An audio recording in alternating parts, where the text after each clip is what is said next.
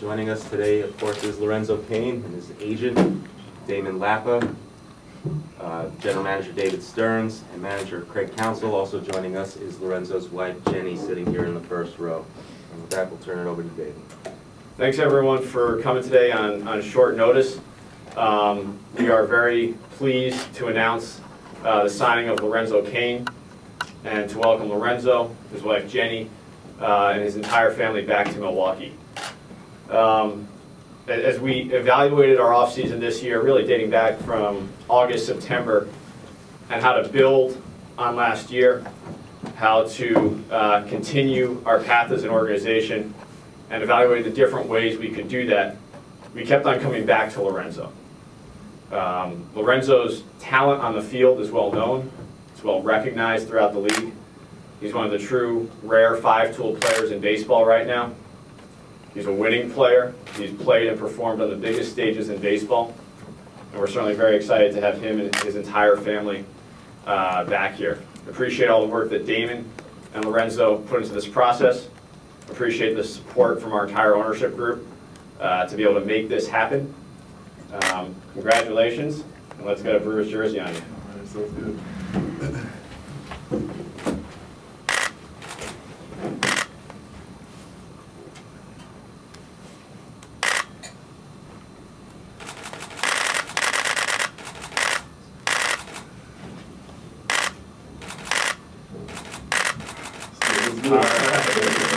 Welcome. Appreciate it. Thank you so much.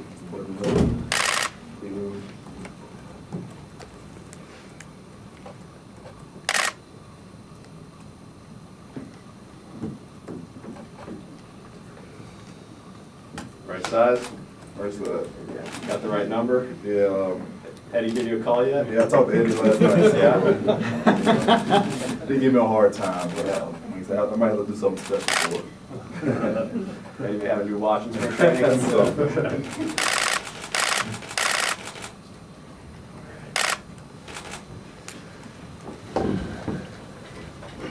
So certainly happy to answer any and all questions. I'll I'll start. Lorenzo, for you, um, have you had a chance to kind of reflect on your career coming full circle, sort of back to where it began?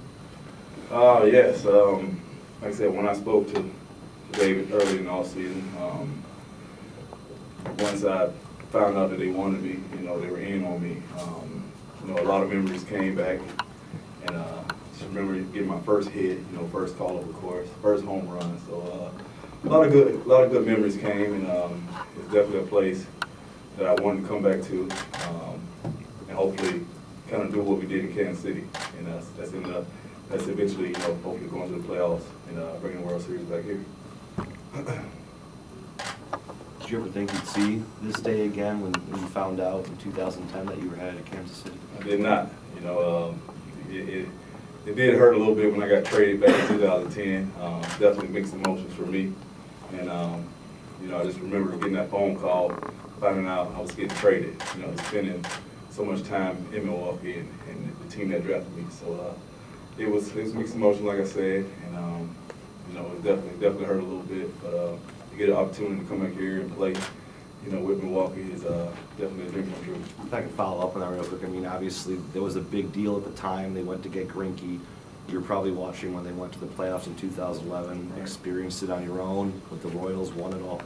Now the chance to come back and, and like you said, try to do that again as a veteran leader, are you looking forward to that opportunity? Yeah, you know, uh, with, with everything, you know, uh, this is definitely a tough game and nothing's gonna be easy. Uh, David's put together a really talented group and, uh, I'm just happy to be a part of it and, uh, like I said, just build on it. And, uh, for me, you know, I'm just ready to get to work and, and get going. Lorenzo, you're like the first big breakthrough on the free agent market this winter. What's it been being out there on the, in the ice age of free agency? Yeah, you definitely don't wanna be out there too long. definitely chilly out there, but, um, but, um, like I said, I'm definitely happy I was able to, you know, get something done. Um, You know, it was definitely slower than expected this off season, but, uh, definitely took longer than I expected, but, um, as you see, it's, it's definitely, definitely not going as planned as far as, you know, guys jumping out and then signing, you know, quick. But um, Milwaukee was in on me from the get-go, you know, so other teams as, as well. But uh, like I say, once, once uh, I got a phone call from David, you know, this was the spot that I wanted to be in. Craig, what kind of uh, plus is it gonna be to add Lorenzo into the mix in the clubhouse with the experience that he has in the postseason particularly? Well, I mean, I, from my perspective, we're, we're just adding, we're adding a very, very good player, um, and a guy that's, um, that I feel like we know well, um, that has accomplished, you know, the height of the game.